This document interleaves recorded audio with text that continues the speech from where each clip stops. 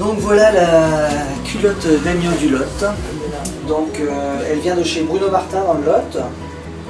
Euh, ce sont des agneaux laitons qui sont élevés euh, environ 110-120 jours. Ils ont, ils ont 40 jours au lait de leur maman, puis après il y a un complément de céréales. Et ils sont élevés voilà, jusqu'à 110, 110 120 jours. Alors j'ai choisi cet agneau moi parce que c'est pas un agneau trop jeune, trop tendre, il faut qu'il ait du caractère. On utilise le fameux Nika Black, pur malt. On y a mis à l'intérieur des baies de jaunière, du romarin, du thym, des baies roses. C'est très très parfumé.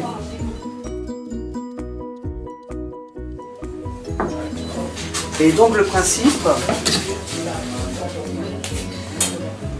c'est que tous les jours, on lui fait un petit soin particulier.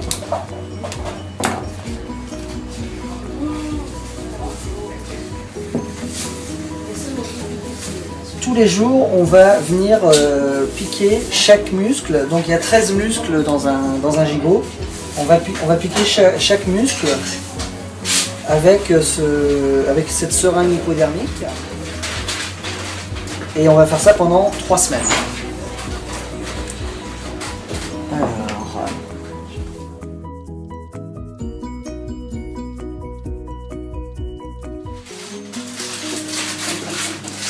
Donc le, gigot mature pendant trois semaines. Hein, c'est un petit peu le principe de, mes côtes de bœuf que je fais maturer très longtemps. Et là, je viens piquer chacun des muscles.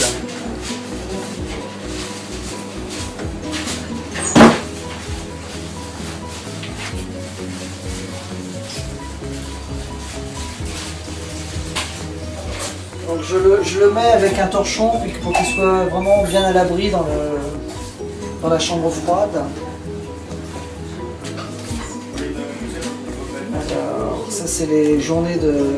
C'est sa feuille de. De soins De soins.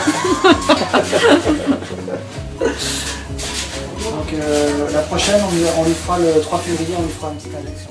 Le fait de le cuire à basse température euh, sous vide, ça, ça. du coup, la cuisson est totalement uniforme. C'est-à-dire qu'on l'a fait cuire 36 heures à 66 degrés.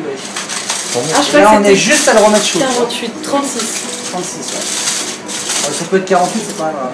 Ouais, à 66. Voilà. La couleur rosée uniforme sur tout l'ensemble du gigot, euh, le côté fondant, le côté extrêmement parfumé, très équilibré entre l'apport en whisky et puis le côté légèrement gigoyeux mais pas, pas, pas du tout euh, trop fort ni repoussant. C'est parfait.